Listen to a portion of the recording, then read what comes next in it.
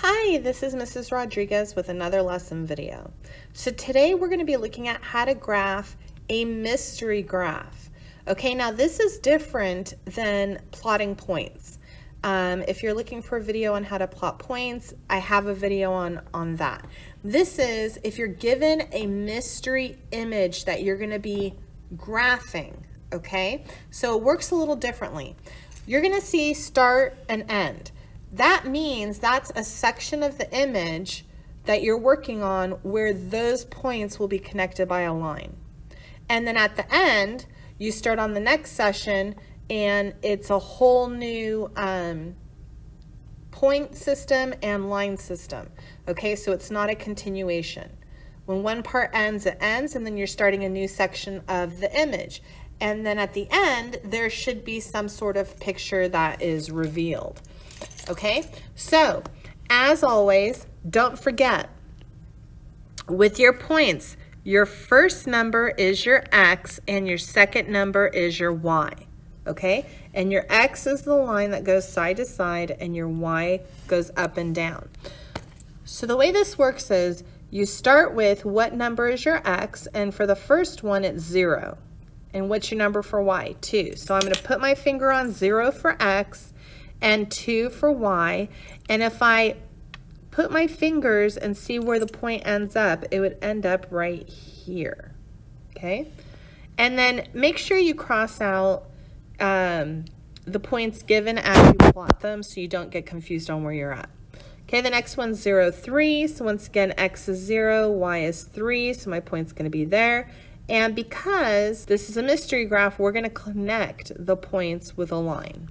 All right, now we have 3, 6. So 3 is my x and 6 is my y. So remember, I'm going to go in the direction of up for x, the 3, and to the right for 6, I'm following those lines and seeing where they meet. And they meet right here. So that's how I know where to put the point.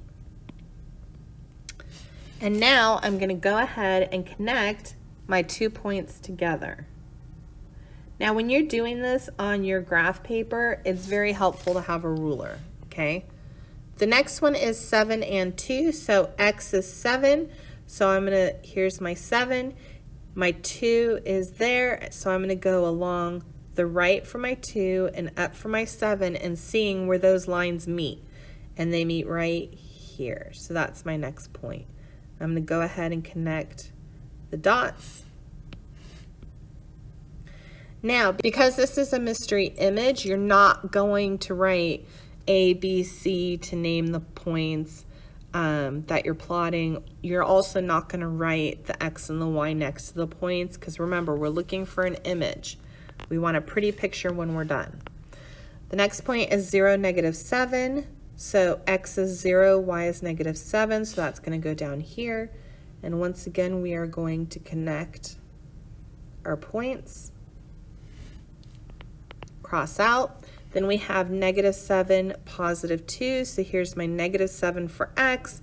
Positive 2 is here. So we're going to go along these lines. That's why there's these lines, okay, on your graph. So you can follow the lines and see where they meet. And that's how you know where to plot your point. Okay, and now I'm going to go ahead and connect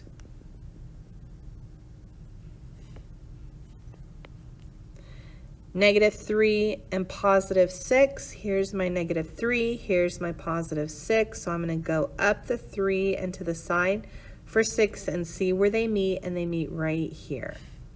Okay? And then I'm going to go ahead and connect my points. And then last but not least, it says 0, 3. So 0, 3 is actually the second point we plotted, and we're gonna end there, okay? And there you go. And as you can see, that the first column made a heart, okay? So we started and we went all the way through plotting the points until it said end and we connected the points with a line and it created a heart. Now we're gonna move to the next section of the image. So we're gonna restart a new section. So 9 and 7. Here's my positive 9, my positive 7. So I'm going to go to the right along that line for 7, and I'm going to go up this line for 9 until they meet. And they meet right here. Okay, so that's going to be my first point. I'm going to go ahead and cross this out. And the next point is negative 7, negative 9. So here's negative 7, here's negative 9. So I'm going to follow these lines until they meet. And they end up meeting right here. Okay. And now I go ahead and connect those dots.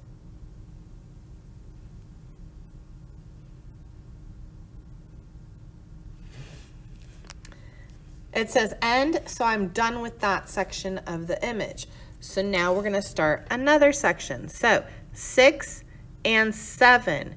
So positive 6, if we go up, here's my positive 6, here's my positive 7. We follow the lines until they meet, and we end up right here. The next one is 9 and positive 7. So 9 and positive 7 is, oops, this dot is this dot right here that we already have. So that means we're going to connect these two dots together. Okay. And then we have 9 and positive 4. So we're going to follow the lines for 9 and 4. And we end up here. We connect these. And we just made a little arrow. Okay. Now we're done with that section of the image. We're going to start on the last section. So negative 7, negative 7. If we follow negative 7, we're going to go this way on the y, and we're going to go down on the x until they meet, and they meet right here. Okay? Then we have negative 5, negative 7. And if we follow where they meet, negative 5 and negative 7, they meet right here. And we're going to go ahead and connect these two dots. Okay. And last but not least, we have negative 5, negative 9. So, negative 5 for x, negative 9 for y, we end up right here. We connect our last two dots and we are done graphing our mystery graph. And as you can see, it ends up being a heart with an arrow running through it. So remember, each section, okay, this is a section. Each section is going to be a different part of the image. So you start and stop connecting dots, okay, for each section. So the first section we connected the dots and it made the heart. The second section did not continue, right? It was a whole new thing. It was part of the arrow. So make sure that you're starting and stopping, connecting the dots when it tells you start and end, okay? Now, some pa papers or some graphs you might be given might use the words start and stop. Um, mostly it's start and end, um, but it can show up either way, okay? And always remember, X is the first number, Y is your second number. And X is the lines going side to side, and Y are the lines going up and down. Okay? And as always, if you have any further questions or need additional assistance, feel free to make an appointment with me for office hours. Bye.